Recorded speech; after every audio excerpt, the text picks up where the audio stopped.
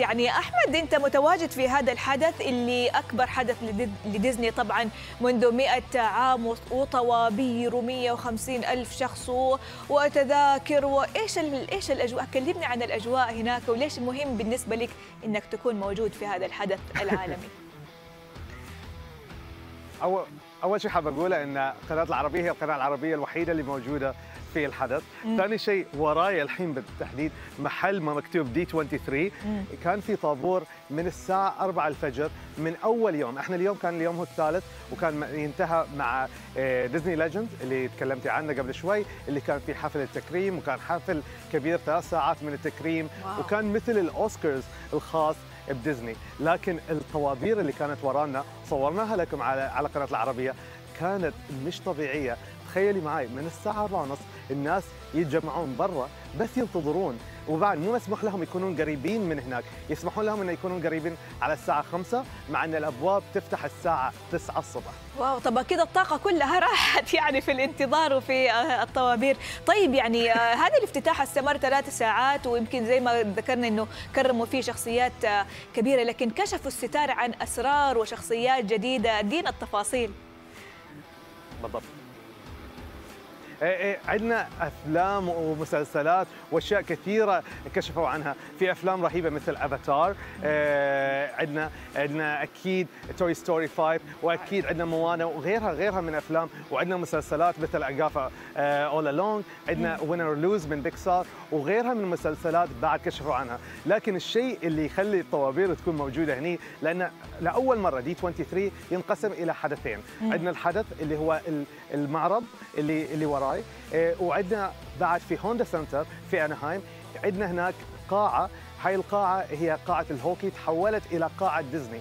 في قاعة ديزني اللي صار فيها إن كل يوم كان عندنا حدث. اليوم الأول كان الحدث الخاص بال entertainment اللي صار فيه العرض عروض الأفلام عروض المسلسلات وكل شيء يخص الترفيه من ناحية ديزني. اليوم الثاني كان يحمل اسم Horizon وتم الكشف فيه عن سفن جديدة cruises جديدة كشفوا عن expansion حق ال theme parks كشفوا عن بعد غير هاي الشيء أعطونا أشياء تخص الألعاب مثل التعاون اللي صار بين Epic Games ومع ديزني وشفنا شخصيات مثل دكتور دوم اللي اللي تكلمنا عنها من قبل على العربية وشفنا شلون راح يدخل إلى عالم فورتنايت طيب وإيش الأشياء أو المنتجات الحصرية اللي كمان أقول بيعت بمبالغ؟ خياليه بنتكلم عن آلاف الدولارات واللي خلصت مئات الآلاف الدولارات واللي خلصت. ما بيجي منها شيء. ما أدري أنت اقتنيت منها ولا لا.